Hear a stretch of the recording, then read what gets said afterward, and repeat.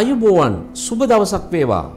මේ කොරෝනා වසංගතයෙන් අපි මිදෙන්නට නම් ජාතියක් වශයෙන් කුමක් අපි කළ යුතුද කියන කාලීන මාතෘකාව යටතේ තමයි අද අපි කතා කරන්නට ඔබට බලාපොරොත්තු වන්නේ. අපි දන්නවා අපේ ජනතාව අද ඛේදනීය ඉරණමකට මුහුණ දීලා ඉන්න යුගයක. ශ්‍රී ලාංකික ජනතාව විතරක් නෙවෙයි ලෝකවාසී ජනතාව ඛේදනීය ඉරණමකට මුහුණ දීලා තියෙන අවස්ථාවක තමයි රැඳිලා ඉන්නේ.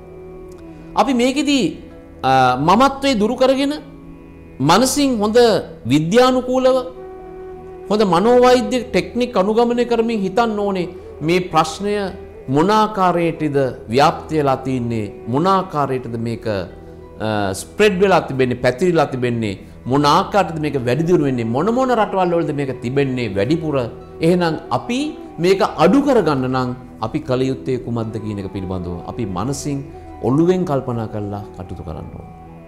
අපි දෙවියෙක් වුණත් අදාගෙන දෙවියෝ මාව බේරගනී කියලා අපි කෝවිලකට හෝ පන්සලකට හෝ පූජන ස්ථානයකට හෝ පල්ලියකට හෝ ගිහිල්ලා අපි ඒ ආගමික යාඥා කටයුතු හෝ ආගමික කටයුතු හෝ දෙවියෝ අපි බේරගනී කියලා එක්රැස් වෙලා කණ්ඩායම් වශයෙන් කරනවා නම් ඔබ මොන දෙයියෝ ඔබ බේරගනීද කියලා ඔබම කල්පනා කරලා බලන්න ඔබට එහෙමනම් කොරෝනා ඇතිවීමේ සම්භාවිතාව ඉහළ මට්ටමට එනවා. මම ඔබට සඳහන් කරනවා මෙන්න මෙහෙම දෙයක්. අපි ලෝකේ දිහා විවෘත මනසින් බලමු.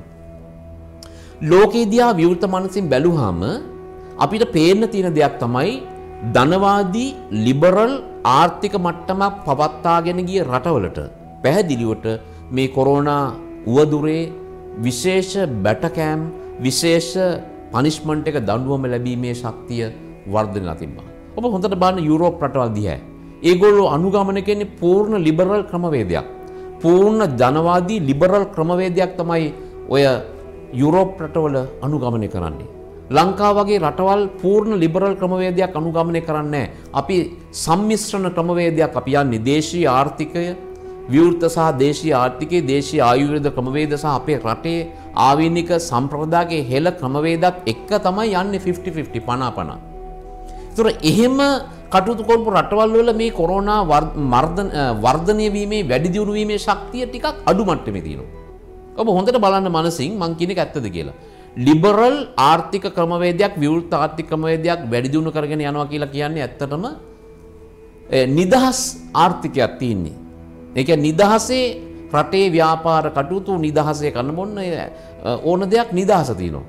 නිදහස් ආර්ථිකයක් තියෙන්නේ. ඒකයි. ඉතින් කන්න ඕන දෙයක් කන්න පුළුවන් ඔය මත්පැන් වගේ දේවල් ඕනත කඩේකින් ගන්න පුළුවන් පාර පුරා විකුණන්න තියෙන ඒ වගේ තියෙනවා. නමුත් ඒවට ලෙඩ හැදුනම බෙහෙතුත් තියෙනවා. මිනිහාට ඕනේ මොකද්ද ඕන දේ භාවිතා කරන්න පුළුවන් හැකියාව තියෙනවා ඒ රටවල් වල. ඒතකොට යමක් බීමේ සම්භාවිත උපරිම තියෙනවා. එතකොට ඒක ඇතිවීමේ සම්බාධය වැඩි. එවැනි රටවල රෝග ඇතිවීමේ ශක්තිය වැඩි. මේක හරියට විශ්වීය දඬුවමක් වගේ හරියට. ඒක නිසා මේ විශ්වත් එක්ක කරන ගනුදෙනුවක් අපි මේ ඉන්නේ. එතකොට ඔබ මේ ලිබරල් ආර්ථිකයක් ගෙවන ධනවාදී රටවල්ට මේක වැඩිම ශක්තිය වැඩිකමක් පේනවා. ඒකයි ඇත්ත කතාව. ඒකයි මේකේ වැඩි සම්භාවිතාවක් තියෙන්නේ. ඒ නිසා දේශීය ආර්ථිකයත් එක්ක පදනම් වෙලා දේශීය හෙළ සිරිත්විරිත් ක්‍රමවේද ආයුර්වේද ටෙක්නික් අධ්‍යාත්මික ඒ වගේ ක්‍රමවේද හෙළ සිරිත්‍රිත් එක අපි පදනම් වෙලා යනකොට අපි මොකද වෙන්නේ අපිට අර රෝග ඇතිමේ සම්භාවිතය අඩු කරගන්න පුළුවන් හැකියාව තියෙනවා. ඒ වීමේ ස්ප්‍රෙඩ් වීමේ සම්භාවිතය අඩු වෙලා තියෙනවා. ඒ නිසා අපි මේ රෝගයට ඔළුවෙන් මුහුණ දෙන්න ඕන. ඒකයි තියෙන්නේ. මේක අපි දකින විදිහට මේ ඇති වෙලා තියෙන අපේ ටෙක්නික් වලට අපේ ක්‍රමවේදයට අවු වෙලා තිබෙන්නේ මේ ලෝකයේ මිනිසුන් කරපු මේ අසාධාරණ අකටයුතු වැරදි අයුක්ති සහගත වැඩ නිසා මේකේ රිටර්න් එකක් වශයෙන් දේව කෝපයක් වගේ වෙච්ච ප්‍රශ්නයක් මේකේ තියෙන්නේ. විශ්ව දඬුවමකට අපි යක් වෙලා තියෙන්නේ. ඔබ නිකන් හිතන්නකෝ පහුගිය කාලේ මේ මිනිස්සු මැරෙන්න කලින් ඊට කලින් සිග්නල් එක ආවේ නැද්ද අර හරක් සත්තු බැටළු එළු හරක් කුකුලෝ කෝටි ගණන් විශාල වලවල් වලට දාලා ඩෝසර් කරලා දැම්මේ නැද්ද? පන පිටින්. කොච්චර සත්තු මරලා දැම්මද? රෝගාබාධ බිහි වුණා සත්තු මුලින්ම මැරෙන්න ගත්තේ. එහෙම නියුනේ වසංගත වගේ ඇවිල්ලා. ඒ වගේ මිනිස්සු සත්තු ගාත් සත්ව ඝාතන එහෙම කරා. දැන් ওই චීනේ වගේ රටවල් අධ්‍යා බලන්නකො නොකාපු සතා මොකද්ද කියන්නකො සර්පයවත් කෑවා. මේ පුංචි පළඟැටියවත් කෑවා, කැරපොත්තවත් කෑවා. මේ හැම සතෙක්ම මරාගෙන කන මට්ටමට මිනිස්සයා අශීලාචාර වුණානේ මේ ලෝකේ සමහර විලාවට. කල්පනා කරලා බලන්න. මම බොරලස්කුම හන්දියේදී මෑතකේ දැක්කා. ඔබ විශ්වාස කරන්න වැව් මාළු ගැලා බිම තියාගෙන විකුණනවා. හොගාලා මිනිස්සු ගන්නවා.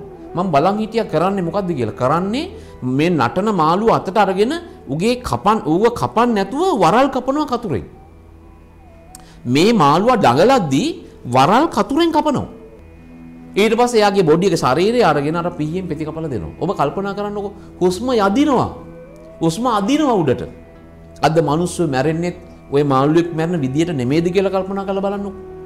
එතකොට අපි කියනවානේ මාළු කෑවොත් පව් නෑ කියලා. අපි කියන්නේ මාළු කෑවොත් පව් නෑ කියලා. මස් කෑවොත් පව්. මාළු ගැන හිතන්නේ මිනිස්සු නිකන් පළතුරු එළවලු වගේ මිනිස්සු අද කල්පනා කරන්නේ. නමුත් මාළුවෙක් මරණ විදිය දිහා හොඳට බලන් හිටියොත් මාළුවක් කෑවම පව්ද නැද්ද කියන එක ඇත්තටම අපිට කල්පනා කරලා බැලුවොත් අපිට තේරෙනවා. ඒකයි. ඔබ බෝට්ටු සර්විස් කරන අය දන්නවා ලොකු මාළු හවුනාට පස්සේ බොහෝ ලොකු මාළුන්ව අර දවස් ගානක් බහුදින යාත්‍රාවල දවස් ගානක් තියෙන නිසා එනකොට මේ මාළු සමහර ෆ්‍රීස දාන ඉඩමදීන්ද සමහර කුණු වෙන හින්දා සමහර අය විශාල දැල්වල දාලා පන පිටිම මූදේ බස්සලා බෝට්ටු එල්ලලා තියෙනවා. එතකොට ඒ දැල ඇතුලේ මාළුවා ඉන්නවා. මේ දැල මූදේ බස්සලා ඒගොල්ලන්ගේ රාජකාරී කරනවා. එතකොට පන පිටින් සතා මූදේ ඇතුලේ ඉන්නවා. ඇවිදින්න බෑ දැල ඇතුලේ ගැට ගැහලා. එතකොට ගැට ගහලා තියන්නේ ඌ. ගැට ගහලා බස්සලා තියෙනවා. එතකොට ඌ දඟල දඟල ඉන්නවා වතුරේ. යා ගන්න බෑ. ඒ මොකද පණ ටික තියාගන්න නැත්තම් නරක් වෙනවනේ. පණ ටික තියාගන්න ෆ්‍රීසරේ ඉඩ මදි ඉඳා. සමහර ලොකු මාළු අහුණාට පස්සේ ලොකු පොල්ලක් තියාගෙන බෝට්ටු ඇතුලේ ඔළුවට ගහලා මරණයටපත් කරනවා. ලොකු මාළු ලේසියෙන් මැරෙන්නේ නැහැ. එහෙම කරනවා. ඒ වගේ වෙල් මාළු ඔබ දන්නේ අලු දාලා තියන්නේ මිනිස්සු මරණයටපත් කරන්න. අපේ පැරැන්නු කියන්නේ වෙල් මාළු හොද්දෙත් නටනවා කියලා. වෙල් මාළු හොද්දෙත් නටනවා කියලා. ඉතින් අද මිනිස්සු ඇත්ත වශයෙන් බලනවා නම් මේ රෝගාබාධ මේ තරම් වර්ධනය වෙන්න ඒ ජීවයක්. මොකද විශ්ව දිව්‍යත් එක ආත්මයක් එක් වේශයක් මවාගෙනාව කියන්නේ මිනිසුන්ගේ සත්ව ඝාතනයෙන් වළක්වන්න. සත්තු මරණයකින් වළක්වන්න. අද මිනිස්සු සත්තු මරණයක ආයි බිඳුවට වටලා තින්නේ. ඔබ දන්න ඔය විවිධ ප්‍රදේශවල ඔය සමහර මීගමු වෙන්නප්පු වගේ සමහර ප්‍රදේශවල සමහර විශේෂ ප්‍රදේශවල අපි දකිනවා වැඩියෙන් ලංකාවේ. විශේෂ ඒගොල්ලන්ගේ ආගමික උත්සව කාලට බලන්න ඌරෝ එහෙම ගහලා ගහලා තුවාල කරලා මරණයට පත් කරන්න. ඒ වගේ හුස්ම යදිනවා හුස්ම ඉල්ලනවා විශ්වයට අඩනවා ඒ විදියට කටුතු කර. තිය නිසා අපි ඒක හොඳට කල්පනා කළ බලන්න ඕනි. ඒක නිසා හරක් මස් තහනම් කලා නෑකිව්වට හරක් මස් මිලදී ගන්න තියනවද නැද්ද කියන්න ඔබේ හදවත තට්ටු කළ බලන්න වෙළඳ පොට ගිල්ලා විවෘතෝ බලන්න මේකතම ඇත්ත කතාව අපේ මනසරවට්ට ගන්න බෑ. ඒසා මාළුව කියලා මාළුවා ගෝව ගෙඩියක් නෙවෙයි. මාළුව කියන්නේ ලීක්ස් ලීක්ස් එකක් නෙවෙයි. මාළුව කියන්නේ කැරට්ටලයක් නෙවෙයි. මාළුවා ජීවයක්. මාළුවගේ ජීවයක් තියෙනවා. එහෙනම් අපි උත්සාහ කරන්න මේ රෝගයෙන් බේරෙන්න නම් උත්සාහ කරන්න වෙජිටේරියන් වෙන්න. ඊළඟට උත්සාහ කරන්න සාමූහික කණ්ඩායම් වශයෙන් රැස්වන දේවල් නැති කරගන්න. ඊළඟට මේ ලිබරල් ආර්ථික තත්ත්වයෙන් 150 25 කරන්න උත්සාහ කරන්න. මොකද 77ට කලින් තිබුණේ ලිබරල් ආර්ථිකමයක් නෙවෙයි ඔබට පේනවා. ඒ ආර්ථිකමේ අපිට හොඳ තත්ත්වයක පත් කරගන්න. අද ලෝකේ අරන් බලන්නකෝ. ඒ ක්‍රමවේද අනුගමනය කරන රටවල් වලට ප්‍රශ්න අඩු වෙලා තියෙනවා. කරදර අඩු වෙලා තියෙනවා. එහෙනම් විවෘත ආර්ථිකයේ Tamanට ඕන දෙයක් නිෂ්පාදනය කරන්න පුළුවන්. ඕන දෙයක් විකුණන්න පුළුවන්. ඕන බීමක් බොන්න පුළුවන්. ඕන කෑමක් කන්න පුළුවන් කියන එක අපි අවම කරන්න ඕනේ. ඒකයි තියෙන්නේ. ඒකයි. ඒ හැම දෙයකින්ම අපි ඒ දේ තේරුම් ගන්න ඕනේ. අපි රසායනික පොහොර වර්ග තහනම් කරනවා වගේම රසායනික බෙහෙත් වර්ග කෑම වලට දාන එක අපි නතර කරන්න ඕනේ. චූම්පාන් ලොරිය වෙනුවට හර්බල් ෆුඩ් හර්බල් පුඩ් වාහනයක් නිවසට ගෙන්න්නන ටෙක්නික් අනුගමනය කරන්න ඕනේ. කිරිපිටි පැකට්ටක වෙනුවට චූම්පාන් එකේ කිරිපිටි වෙනුවට කිරි පටෝල ගේන ජනතාවක් හදන්න ඕනේ. ඒ වගේම සත්තු මරං කන ජාති වෙනුවට අපි වෙජිටේරියන් ජාතියක් බවට පත්වෙන්න ඕනි. එනිසා මේ විදිට අපි කටයුතු කරන්න ගියොත් එක හොඳ ප්‍රතිඵල ගන්න පුළුවන්.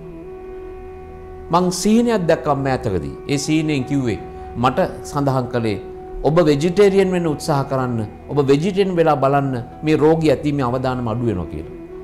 ඔබ හොඳට කල්පනා කරන අද ආරන්න සේනාසනවල වැඩින්න ස්වාමින් වහන්සට මේ රෝග හැදිල තිනවද කියලා ඔබ කල්පනා කළ බලන්න. ඔබ බලන්න හින්දු කෝවිල්වල වෙජිටේරියන් වෙජිටේරියන් ලයින් හින්දු කෝවිල්වල මේ රෝගය ඇතිවීමේ සම්භාවිතය අවම මට්ටමේ තියෙනවා. මේක ඇත්ත කතාව. ඒ නිසා සත්ව මාංශ භාවිතය අඩු කරන මට්ටමට හදාගන්න. ඒ වගේම දේශීය බෙහෙත් වර්ග ඒ කියන්නේ වෙනිමෑගට කොත්තමල්ලි වගේ ක්‍රමවේද හැම විටම ශරීරගත ප්‍රතිශක්තිය වර්ධනය කිරීම සඳහා වැඩි කරගන්න. ඒ වගේම සාමූහික කණ්ඩායම් රැස්වීම් තිබෙන ස්ථානවල සංසරණය ඔබ අවම මට්ටමට පත් කරගන්න.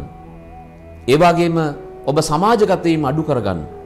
ඒ නිසා හැමෝම කියන්නේ මම ගියේ නෑ මම ආවේ නෑ මම කතා කරේ නෑ මම පරිස්සම් මම පරිස්සම් කිව්වට ඒ පරිස්සම් කියන හැම කෙනෙකුටම රෝගාබාධ ඔයගේ හැදිලා තියෙනවා. මේක විශ්ව දඬුවමක් මේ තියෙන්නේ. විශ්ව දඬුවමක් කියලා කියන්නේ අද බලන්න අද සමාජය ගත කරන හොඳ දේවල් සමාජගත කරන මිනිසුන්ට පහර දෙනවා. ටික්ටොක් වගේ යරමර සමාජගත කරලා හෙළු ඇඳුම් අඳලා ඇඟ පේන්න ඇඳුම් අල්ල රෙදි මදි වෙච්ච ඒවා තමයි ප්‍රොමෝට් වෙලා තියෙන්නේ. ඉතින් ඒ නිසා මන වාහනයට ගහන්නේ සුපර් පෙට්‍රල්, මනසට දාගන්නේ මනසට දාගන්නේ අවුල් වියවුල්. ඒ වගේම බඩට දාගන්නේ කෙමිකල්, රසායනික ද්‍රව්‍ය දේවල්. ඒතකොට තමන්ගේ මේ ශරීරය කියන එකත් අපි අපේ නෙවෙයි මේ ශරීරය අනුන්ගේ. එහෙනම් අපිට මේක මේන්ටේන් කර නඩත්තුකාරයෙක් විතරයි අපි. අපි ඒක නඩත්තු කරන්නේත් වැරදි විදියට. ඒ වැරදි දේවල් ප්‍රදර්ශනය කරනවා වැරදි දේවල් පෙන්නනවා වැරදි කෘතිම රසකාරක බඩට දානවා. ඊට පස්සේ ලෙඩ වුණාම කෘතිම රසකාරක සහිත බෙහෙත් වර්ග දාලා ඒවා මර්ධනය කරන්න උත්සාහ කරනවා. ඒ වගේ කෘතිම ජීවිත ගෙවනවා. ඒ වගේ ඊර්ෂ්‍යාකාර වෛරක්කාර සිතුවිලි ප්‍රගුණ කරනවා. ඒතකොට ස්වභාව ධර්මයක් කිපෙනවා ඒකයි තියෙන්නේ. ස්වභාව ධර්මය අපිට උගන්වනවා. ඕසොන් ස්තරේ ඩැමේජ් වෙලා තියෙන එක නැවත හැදෙනවා. කොස්පොලොස් කරන මනුස්සය හුරු කරලා තියෙනවද? ඒ වගේ හුරු කරලා තියෙනවා. ප්‍රදර්ශනාත්මක විවාහ මංගල උත්සව අඩු කරන්න කියලා තියෙනවා. ප්‍රදර්ශනාත්මක අවමංගල උත්සව අස්ස කරත්තෙන් එන අවමංගල උත්සව එපා කියලා කියලා තියෙනවා. ඒ නිසා මේ පණිවිඩයක් අපිට කියන්නේ ඒ වගේ කෙමිකල් රසායනික ද්‍රව්‍ය සහිතාර එපා කියලා තියෙනවා. කෝටිපතියෝ බිමට වට්ටලා තියෙනවා. ඒ වගේම ඊටා උසස් තත්ත්වයේ රජ්‍යවරු වගේ වැජිබෙච්ච, වැජබෙච්ච, සිටුවරු වගේ ජීවත් වෙච්ච විශේෂ දේවල් කරගෙන හිටපු මිනිස්සු බිමට වට්ටලා තියෙනවා. අකටුත්තෙන් හම්බ කරපු අසාධාරණෙන් වැජබෙච්ච අසාධාරණයෙන් රජසැප විදිච්ච මිනිස්සුන්ට බිමට වට්ටලා තියෙනවා අද සමාජයේ. ඒ නිසා ලොකු ඕන මිනිස්සෙක් බිමට වට්ටලා තියෙනවා. ලොකුකම් කතා කරපු රටවල් වල රාජ්‍ය නායකයෝ පවා බිමට වට්ටලා තියෙනවා. චණ්ඩිකම් කියපු රටවල් වල ඒව ඒගොල්ලන් බිමට දාලා තියෙනවා. අපිට දකින්න තියෙනවා. ඒකයි. මේ පුංචි දූපතට විරුද්ධව පවා කටයුතු කරපු ලෝකෙ විවිධ රටවල් වලට දඬුවම් හම්බෙලා තියෙනවා.